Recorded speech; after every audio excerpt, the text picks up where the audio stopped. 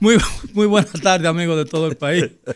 Bienvenidos nuevamente a Rumbo de la Tarde, aquí por la 98.5 FM. Soy Miguel Guerrero, encantadísimo de estar nuevamente con ustedes y me acompaña, como casi siempre, el doctor Valentín Medrano Peña. Buenas tardes, Valentín. Yo quiero, después que tú de... Ah, no, eso va a ser breve. Entonces, saludos, don Miguel Guerrero, saludos al pueblo dominicano, saludos al pueblo de San José de Ocoa.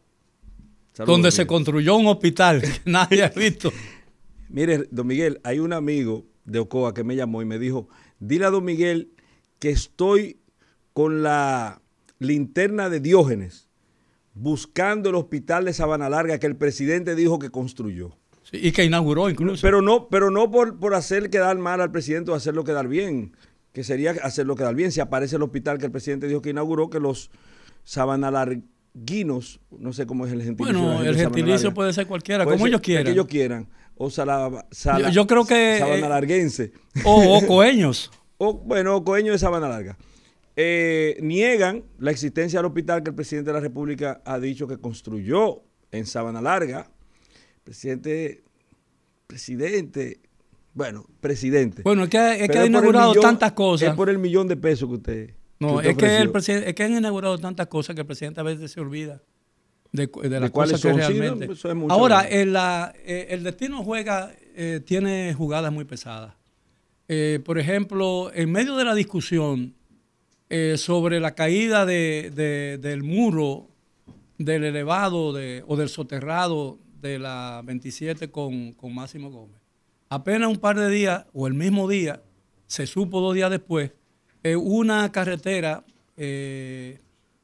en el interior del país, no recuerdo exactamente en qué lugar, creo que fue en Sánchez Ramírez, eh, se levantó todo el pavimento eh, por efecto de las mismas aguas que hicieron lo propio en el muro del soterrado eh, de la 27 con Máximo Gómez.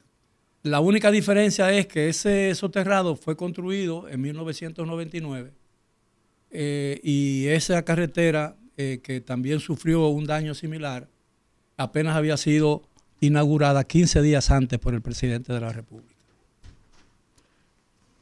Eso, eh, usted sabe cómo hacen en el...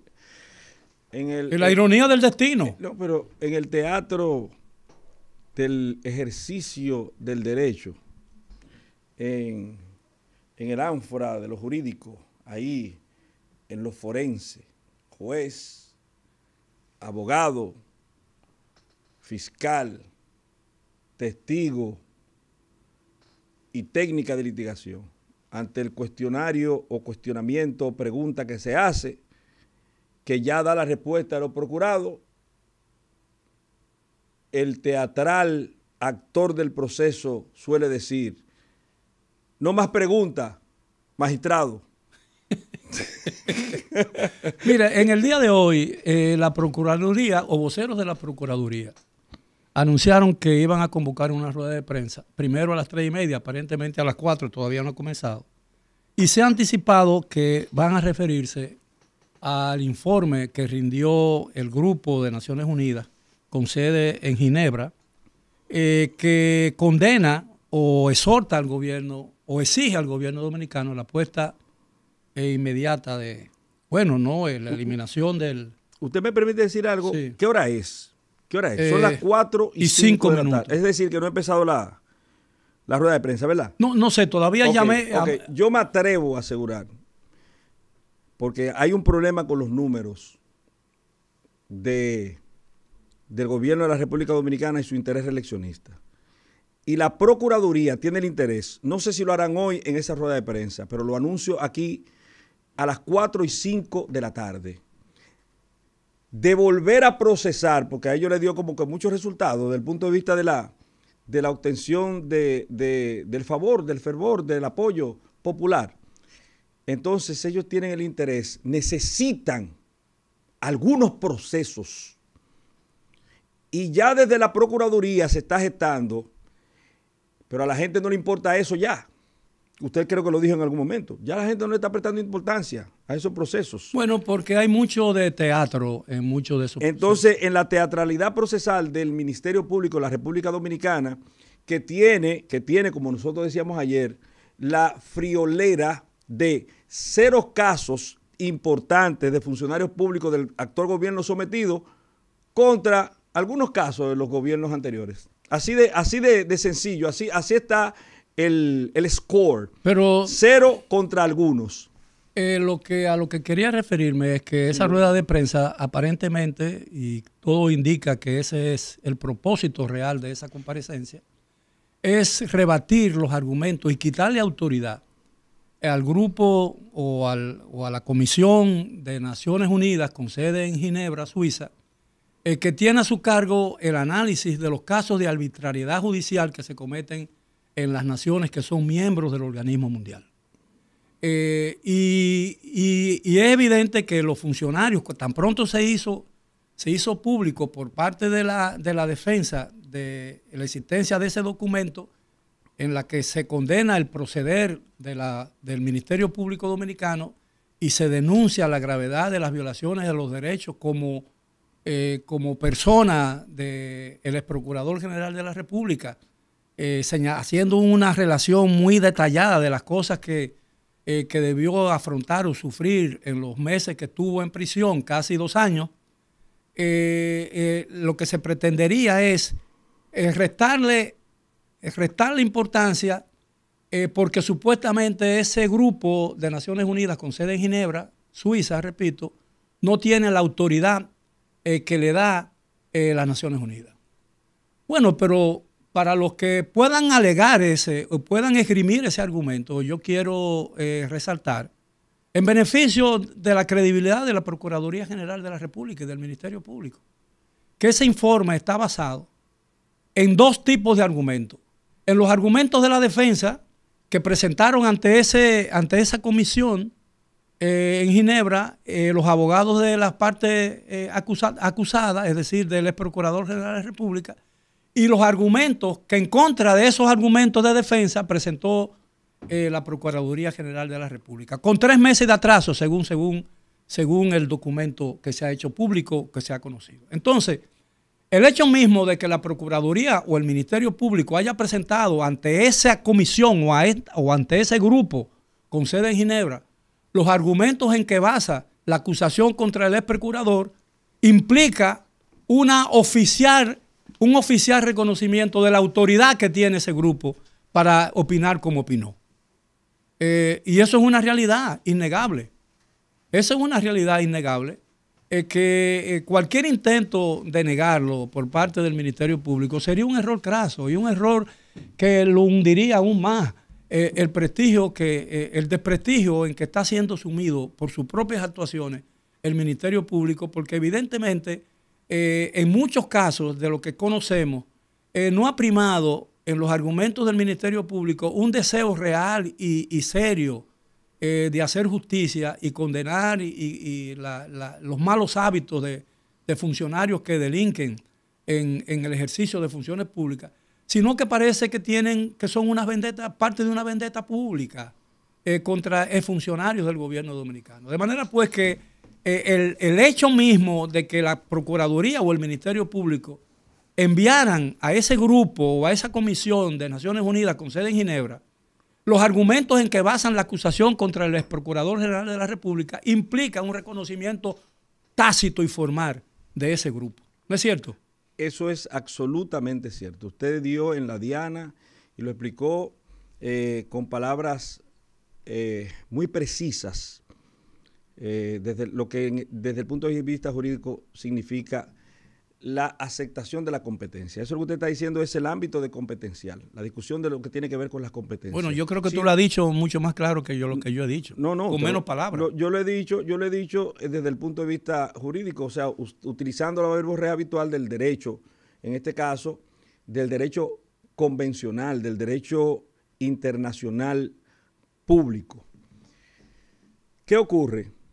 Lo dicho por don Miguel es sencillamente así. Si usted desconoce que un tribunal tiene competencia, usted puede incluso incoar acciones tendentes a la consecución de excepciones con respecto a la calidad convencional, competencial de ese, de ese cuerpo y decir, no, usted no es competente para eso.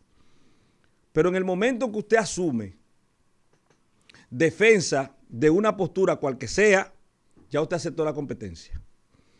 Y la decisión que de ahí mana, usted tiene que obligatoriamente asumirla. Sí, porque tiene autoridad. Y usted le concedió la autoridad.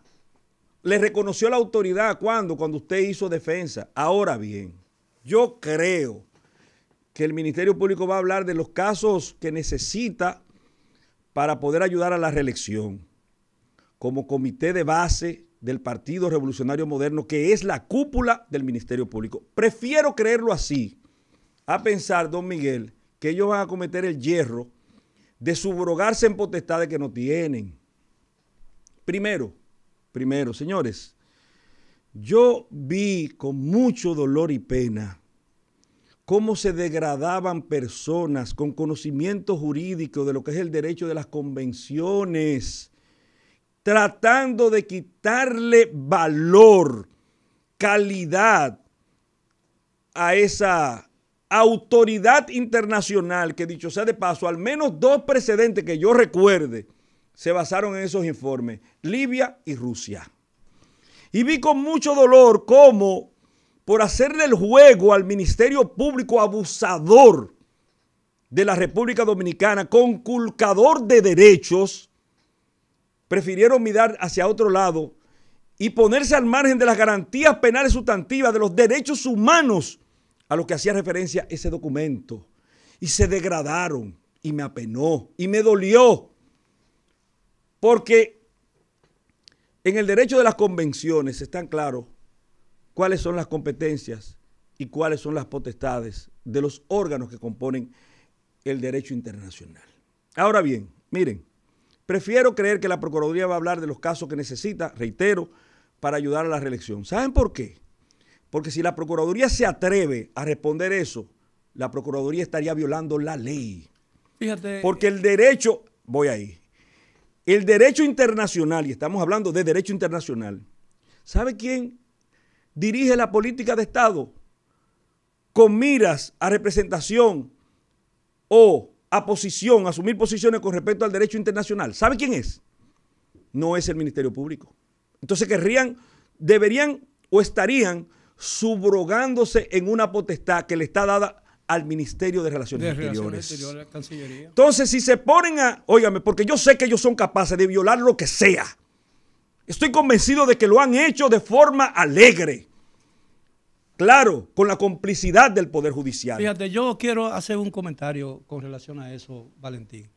Porque yo he escuchado voces que alegan que cuando uno se refiere a esas atrocidades, que hemos estado viendo y el país padeciendo, eh, uno estaría defendiendo personas tipificadas como eh, esquilmadores de bienes públicos y corruptos de, marca mayor.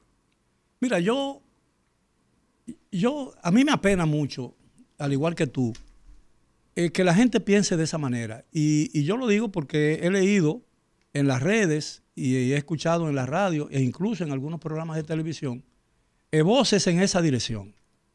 Eh, pero yo quiero recordarle a esa gente que piensan como eso, que independientemente de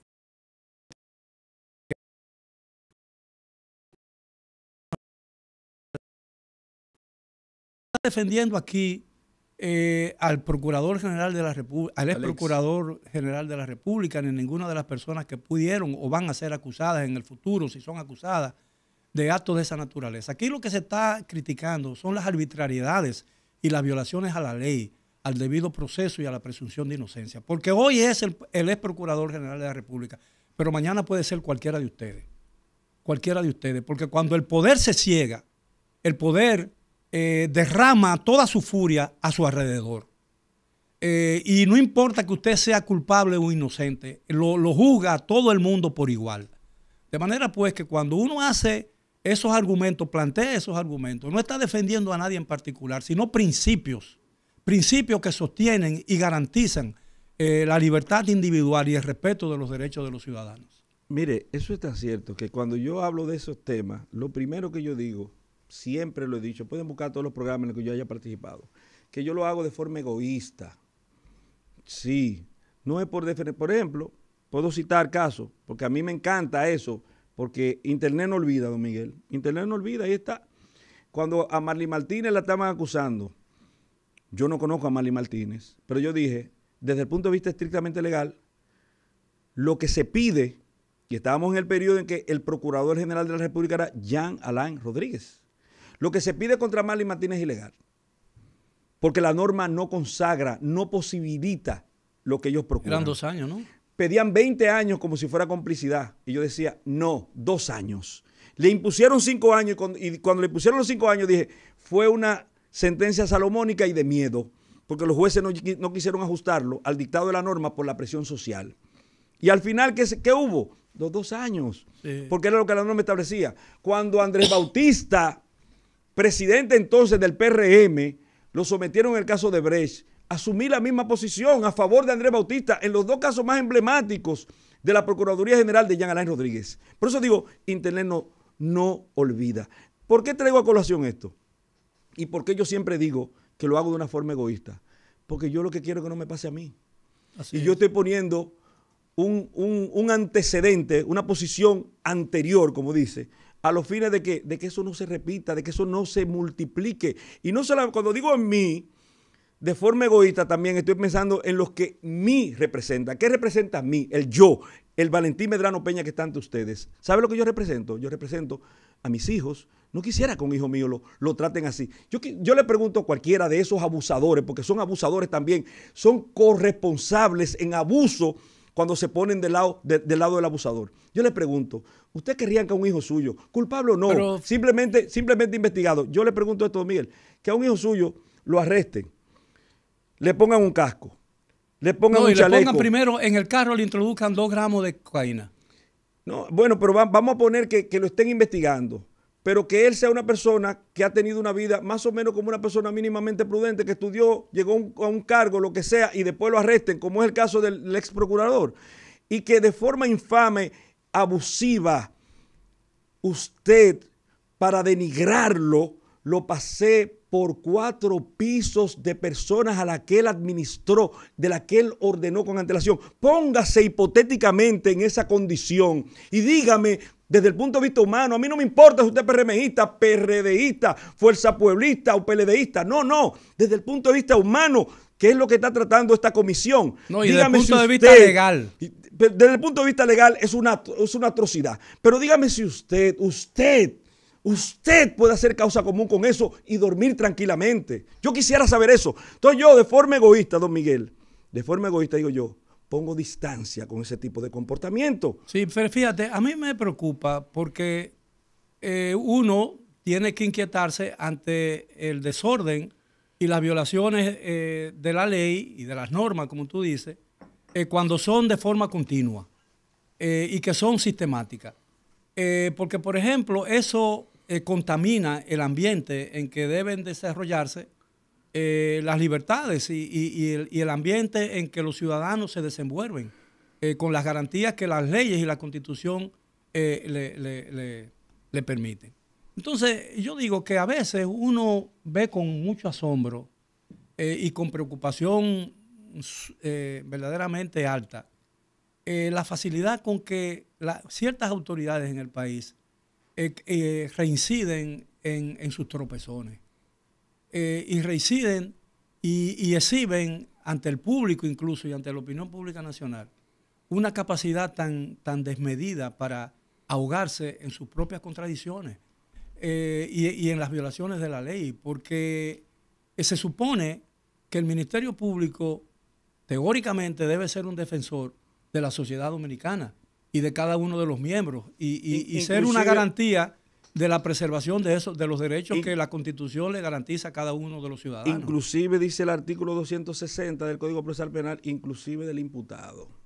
Porque como tiene la obligación del principio de objetividad que emana del artículo 170 de la Constitución de la República, tiene que obligatoriamente recoger pruebas a cargo y a descargo. Significa que cuando encuentre una prueba que desligue a la persona imputada de un proceso, el Ministerio Público debe retirar la acusación. Entonces, el amparo, la garantía penal sustantiva, está a cargo no solamente de los jueces, sino de todo funcionario público. Pero lo cierto es, lo cierto es que quien esté en la obligación de responder eso es el presidente de la República, don Luis Abinader Corona, porque es un asunto de derecho internacional y la política internacional del Estado, según el artículo 128 de la Constitución de la República, la dirige el eximio, excelso y caro presidente de la República, cual que sea que se encuentre en el solio presidencial. En este caso y en este momento, el licenciado Luis Abinader Corona. Mira, yo me he hecho eh, repetidas veces una pregunta que a mí me parece que, que tiene asidero por lo que uno está viendo. Y yo me pregunto muchas veces, ¿qué, lo, qué, qué se persigue con todo esto?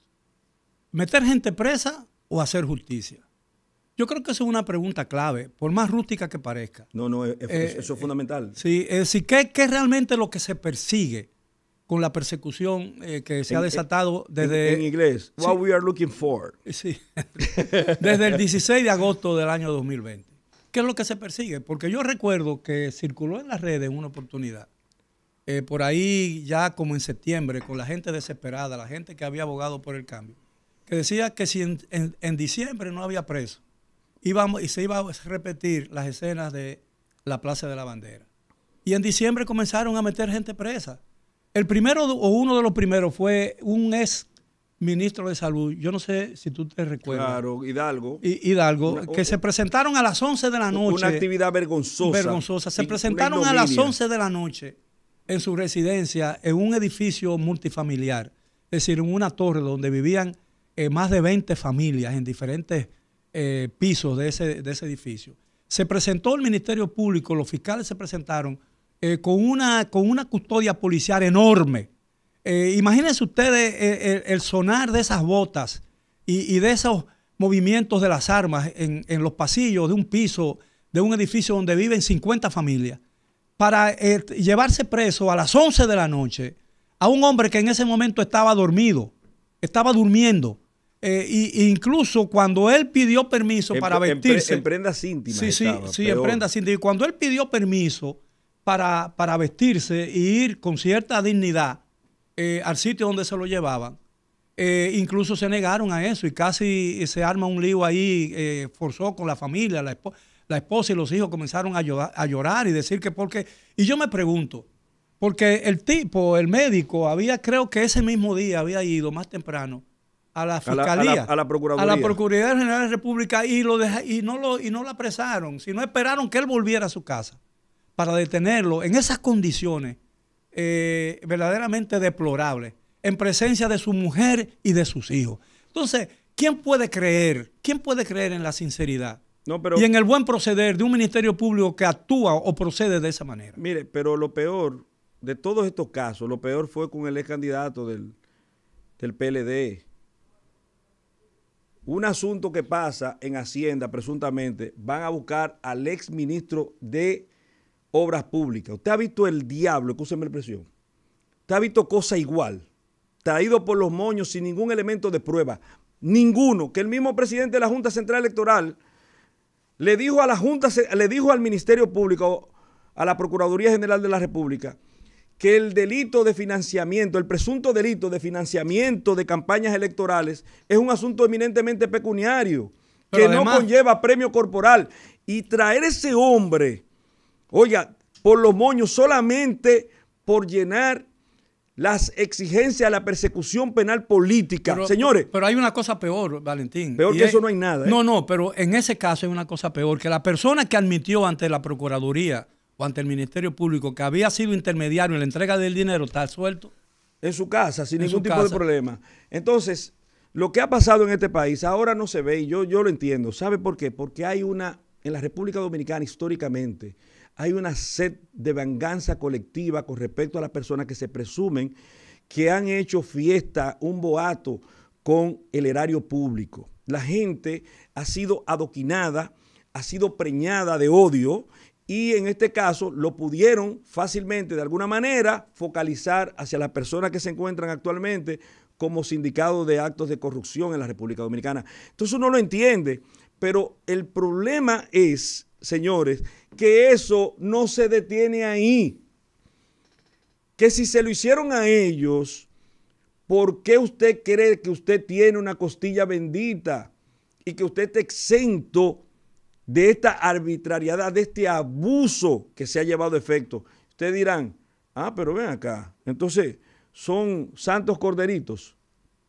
Bueno, yo no digo eso, no llego tan lejos. Lo que sí sé es que yo he revisado los procesos y que los elementos de prueba que ellos blanden en perjuicio de estas personas no son suficientes para la retención subsecuente de responsabilidad penal. Digo, según mi visión, yo nací equivocado, puedo estar equivocado, pero sí de una cosa no estoy equivocado, de que, de que se ha sido exagerado en la respuesta jurídica que se le ha dado a cada uno de estos casos. Bien, vamos, antes de hacer la pausa, yo quiero hacer un anuncio que me llega en este momento, que el doctor Cándido Simón ha sido postulado al Tribunal Constitucional y que será evaluado el próximo 7 de diciembre por el Consejo Nacional de la Magistratura, eh, bajo la presidencia eh, y la coordinación del presidente de la República, el licenciado Luis Abinader. Vamos a hacer... No, no espérese, no se vaya, que faltan unos minutos. Eh. Por favor, déjeme decirle esto antes que usted se vaya. Dos cosas. Primero, con respecto a Cándido Simón y al Tribunal Constitucional. Cándido es inmejorable como candidato. Pero se tiene la intención de parte del presidente de la República, atención, que es el que decide ahí lo que va a pasar. Olvídense de cuento de Pero eso. no prejuzgue. No, no, no. Yo le puedo decir que, venga, yo le voy a escribir a usted ahora, ahora, óigame, por WhatsApp, que WhatsApp no borra. Le voy a, a, decir a usted quiénes van a ser los miembros electos del Tribunal Constitucional. Y le voy a decir a usted, le voy a decir a usted quién va a ser el presidente. Y es más, el presidente ocupa una, una, función judicial. El presidente que va a ser presidente del Tribunal Constitucional. Yo le puedo decir a usted quiénes van a ser los miembros y quién va a ser el presidente. Pero dímelo, dígalo. No, no, no, se lo voy a poner por WhatsApp porque Usted después va a venir y va a decir, ¿qué día fue? 24 de noviembre. ¿A qué hora? A las 4 y 28. Valentín Medrano escribió los nombres de los eh, miembros del Tribunal eh, Constitucional. Pero antes de que nos vayamos de esto, espérese. Cándido, Cándido Simón sería una pieza dentro del Tribunal Constitucional. Lamentablemente, Cándido, no te vi en la lista de la gente que van a ser seleccionados, pero, pero sería un orgullo, sería un aporte al derecho procesal constitucional y al constitucionalismo en la República Dominicana por su formación y la resiedumbre y la responsabilidad que ha exhibido como, como jurista. Pero antes de irnos, don Miguel, en este último minuto, yo quiero decirles a todo el que se cree conocedor del derecho procesal internacional público que la actividad procesal defectuosa, que no es más que aquella acción que se lleva en contrapelo de la Constitución de la República y de las convenciones de derechos humanos en afectación de una persona imputada de un proceso, el único remedio procesal jurídico que tiene es la anulación de ese acto procesal. Se anula. ¿A quién te refieres exactamente? consecuencias de ese acto procesal. Aquí hay muchas cosas que son actividad procesal defectuosa, porque, por ejemplo, el caso de, del ex procurador general de la República ya no hay que discutirlo, eso está ahí. Ya una comisión dijo que hubo una actividad procesal defectuosa. Vamos a hacer la pausa. Ahora, hablemos de Aerodón después. Bien, eh, vamos a hacer una pausa y regresamos después de ella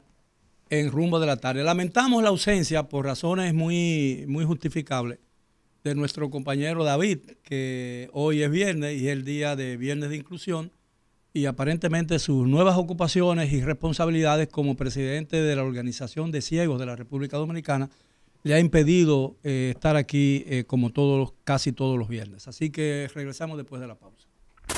Rumba.